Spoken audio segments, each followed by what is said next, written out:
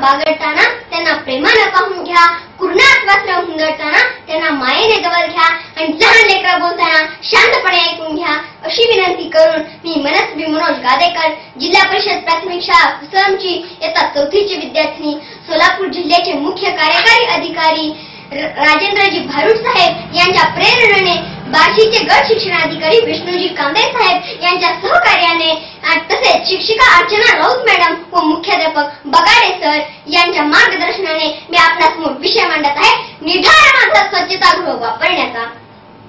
मित्रांनो सहा नोव्हेंबर दोन हजार चौदा रोजी सर्व मराठी चॅनल्सवर आणि काही मोजक्यात हिंदी चॅनल्सवर एकच बातमी पुन्हा पुन्हा सांगितली जात होती. ती म्हणजे महाराष्ट्रातील वाशिम जिल्ह्यातील सायखेड या गावातील संगीता अभय नावाच्या महिलेने आपल्या गळ्यातील मंगळसूत्र विकून आपल्या अकरा वर्षाच्या मुलीसाठी शौचालय बांधले. ही बातमी जेव्हा ग्रामविकास मंत्री पंकजाताई मुंडे यांना समजली तेव्हा त्यांनी तिचे विकलेले मंगळसूत्र पुन्हा मिळवून दिले आणि तिचा मंत्रालयामध्ये सत्कार केला. दुसरी घटना म्हणजेच तीस ऑगस्ट दोन हजार चौदा रोजी दुल्हार वाचण्यात आली. ती म्हणजे पार्वती दुलीप सिंग नावाच्या महिलेने आपल्या नवऱ्याकडे बारंबार शौचालय पण त्याने काही बांधले नाही म्हणून तिने तिला घटस्फोट दिला.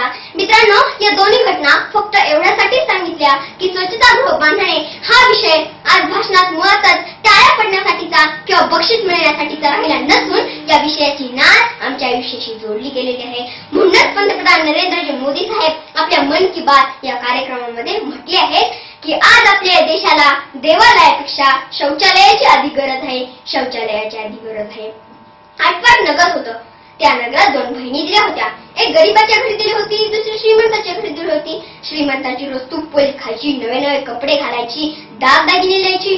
पण तिच्याकडे शौचालयच नव्हते. गरीबाच्या घरी दिलेली रोज चटणी भाकरी खायची फाटके तुटके कपडे न्यायची दागदागिने नव्हते. पण तिच्याकडे शौचालय होते. हळूहळू दिवस बदलले. श्रीमंताचे आरोग्य ढासाले मुले आजारी पडू लागली त्यांना हगवण लागली. कामात उत्साह राहिला नाही. दवाखाना वाढला व गरीब आली या उलट जिच्याकडे शौचालय होते तिच्या कोणीही आजारी पडले नाही. दवाखाना कमी झाल्यावर श्रीमंत आली मग धाकटी बहीण थोरलीच्या घरी गेली व म्हणाली ताई तू इतकी श्रीमंत कशी झालीस? तू केलेले व्रत मला सांग. आरोग्याचा वसा मला दे. त्याचे मी पालन करीन. तिने सांगितले घरी एक शौचालय बांधावं. त्याचा नियमित वापर करावा. शौचाहून आल्यावर हात स्वच्छ धुवावे. दात नखे स्वच्छ ठेवावी. स्वच्छ पाणी प्यावे. उघडे अन्न खाऊ नये. असे पथ्य पाळ मग बघ काय होतं ते. तिने बहिणीने सांगितलेले ऐकले. नियमाचे पालन केले. परिस्थिती पुन्हा पहिल्यासारखी झाली. मग ही बातमी सरपंचाच्या कानावर गेली. सरपंचाने गावात दवंडी दिली. काय हा काना पिटारे डांगोरा. रस्त्याच्या कडला कुणी संडासा बसला आहे का? याचा शोध घ्या. तोच कोतवाल धावत आला हकीकत सांगू लागला. रस्त्याच्या कडेला कोणी नाही पण काना डोळा मांसाचा गोळा. हात आहेत पाय आहे असा एक म्हातारा दिसला होता. दगडाच्या कौलीवर संडासला बसला होता. त्याला धरून आणले आहे. सरपंचांनी त्याला समजावून सांगितले त्याची चूक त्याच्या लक्षात आणून दिली पुढे त्याचेही आरोग्य सुधारले. अशा पद्धतीने सर्वांच्या प्रयत्नाने गाव शंभर टक्के हागणदारी मुक्त झाले. अशी ही साठा उत्तरी कहाणी पाचा उत्तरी सफा संपूर्ण मित्रांनो ही एक कहाणी आहे पण कहाणीतील न ऐकल्यास आपली हानी आहे. आज आपल्या देशाची लोकसंख्या एकशे वीस कोटी आहे. त्यापैकी नव्वद कोटी लोक उघड्यावर संडासला बसतात माझं बोलणं थोडं किरस नाही वाटेल पण हे एक कटू सत्य आहे. क्षणभर विचार करा. एक व्यक्ती दररोज अर्धा किलो संडास करतो म्हणजे नव्वद कोटी लोकांची पंचेचाळीस कोटी किलो विष्ठा हवेत सोडली जाते. एका शेतात विष्ठेत एक लाख विषाणूंची वाढ होते. मग मला सांगा मग मला सांगा की एवढ्या मोठ्या विष्ठेमधून किती विषाणू हवेत पसरत असतील?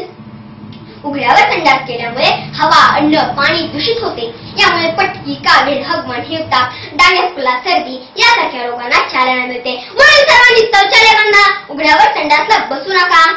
आमच्यापैकी बरेच जण म्हणतात की आम्ही खानदानी लोक आहोत. पण घरी गेल्यावर त्याच खानदानची इज्जत असणाऱ्या महिलांना उघड्यावर संडासला पाठवतात म्हणून मला एवढंच म्हणावेसे वाटते. खायला पाच रुपयाची पुडी मटक्याला पन्नास रुपये सोडी दारूसाठी पाचशेची नोट मोडी बायकोला पाच हजाराची साडी. स्वतःला पन्नास हजाराची गाडी राहायला पाच लाखाची माडी तरी सुद्धा महिलांना उघड्यावर थंडासला धाडी अरे कशाला म्हणतो मर्द घडी काढून टाक मिशा याच घडी काढून टाक मिशा याच घडी अशी म्हणण्याची वेळ आज आली आहे. तसेच कवी श्री विनोद गादेकर हे असेही म्हणतात की बायको दाबून जाते ना काट्या फुटात जातात लेकर. बायको दाबून जाते ना काट्या फुटात जातात लेकर. नागविन सुकाटा वैरी तुला सोडून जातील ही पाखर. नागविन सुकाटा वैरी तुला सोडून जातील ही पाखर. तू जगतच कशाच्या साठी याचा विचार कर तू आज. याचा विचार कर तू आज. नाही घरात संडास तुझ्या. याची वाटू दे जराची लाल. याची वाटू दे जराची लाल. पावसा पाण्याच्या वावरात चिखल सरा रस्ता घडी न माखल.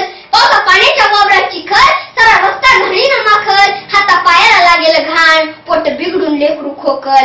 हाता पायाला लागेल घाण पोट बिघडून लेकरू खोकल. पोरा पोरीची कर तू कदर नको बायकोला घेऊ साज पोरा पोरीची कर तू कदर नको बायकोला घेऊ साज नाही घरात संडास तुझ्या याची वाटू दे जराशी लाज याची वाटू दे जराशी लाज आज आम्हाला स्वच्छतेचे महत्त्व पटत नाही. स्वच्छतागृहाचा विचार श्वासा इतकाच महत्त्वाचा आहे. बायकोसाठी मुलीसाठी दागदागिने घेऊन त्यांना सजवण्यापेक्षा घरात एक स्वच्छतागृह बांधून स्वच्छतेचे महत्त्व त्यांच्या मनात रुजवा.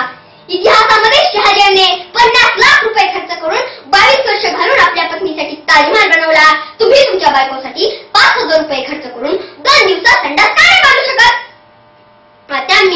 कुटुंबासाठी स्वच्छतागृह बांधायला हवे व त्याचा नियमित वापर करायला हवा. मी तुमच्याशी एवढे परफेक्टपणे बोलते, कारण माझ्याकडे स्वच्छतागृह आहे, मी त्याचा नियमित वापर करते. शेवटी जाताना मी एवढंच म्हणू इच्छिते, यह मत समझो नदी का बहाव न बदलेगा, यह मत समझो पर्वत का झुकाव न बदलेगा. यह मत समझो नदी का बहाव न बदलेगा, यह मत समझो पर्वत का झुकाव न बदलेगा. कुछ तुम बदलो, कुछ हम बदले, कुछ तुम बदलो बदलेगा जमाना जरूर बदलेगा। एवढे बोलून आपली रजा घेते जय हिंद जय महाराष्ट्र. धन्यवाद.